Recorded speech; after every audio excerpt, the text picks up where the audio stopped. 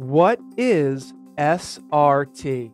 SRT is a video transport protocol designed to send high quality video over the public internet. SRT stands for Secure Reliable Transport.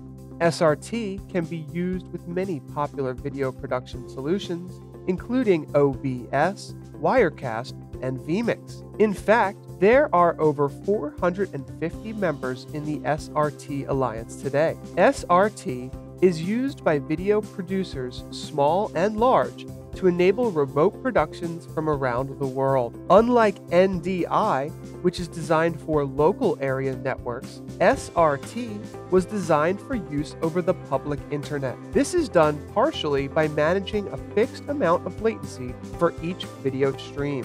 Therefore, SRT does require internet access. SRT video connections provide broadcast studios with remote access to high definition video and audio that is usable for video production. For example, SRT is an ideal way to send video from reporters in the field who make remote video contributions. Broadcast studios can then receive that video where it can be mixed into a news production. If you like this video so far, hit that like button to let us know that you want to learn more about this topic. SRT has made a name for itself by providing encryption that ensures secure transport of even the highest level productions. SRT can enable end to end AES encryption, which is ideal for any content that requires protection. SRT protects against video jitter and packet loss, even during bandwidth fluctuations from unreliable Wi Fi or cellular connections. As SRT hardware and software becomes more affordable, everyday productions done at schools, churches, and state and local government agencies are starting to use the solution. While SRT is used by the world's largest live production companies, including Fox Sports, Comcast, and the NFL, the solution is open source and used by thousands of independent broadcasters. SRT is helping to enable remote productions around the world, and there are a few things you should know to get started with SRT. First of all, SRT uses the public internet. Therefore, you can either set up a peer to peer connection or you can use a proxy server to connect with a remote SRT connection. A peer to peer connection will require a little networking knowledge. For example, you will need to know your public IP address, make sure your router is set up with port forwarding, and configure your video production software to receive the stream. There are great tutorials you can watch to step through this process, like this one on vMix YouTube channel or the PTZ Optics channel here. The second, easier way to get set up using SRT is to use a proxy server like SRT Mini Server or Medialooks.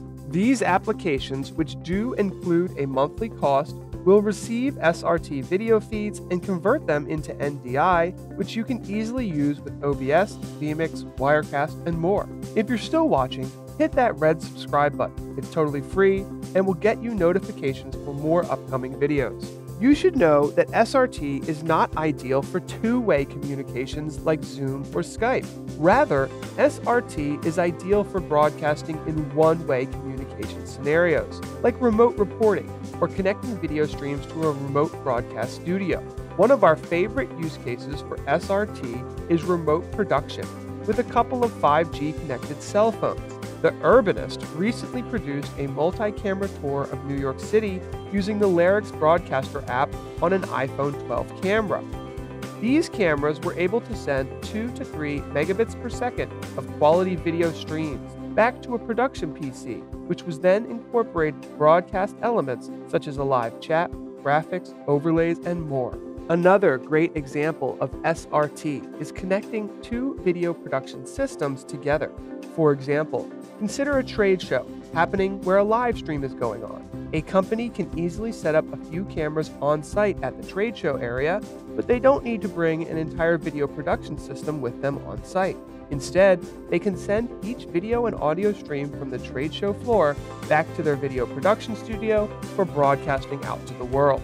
Note, when you're using a hardware encoding option in a software like vMix, you can utilize an NVIDIA graphics card to decode SRT video streams. When doing so, you may need to consider how many encoding channels are being utilized on your graphics card for use simultaneously. If your graphics card has a limited number of simultaneous encode channels, you may need to use your CPU to decode SRT. Most GeForce NVIDIA graphics cards are limited to two hardware encodes per stream.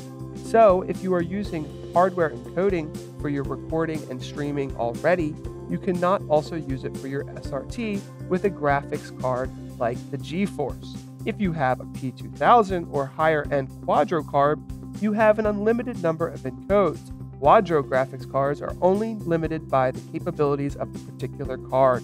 Let us know how you are thinking about using SRT. Check out our Jumpstart Guide to SRT below.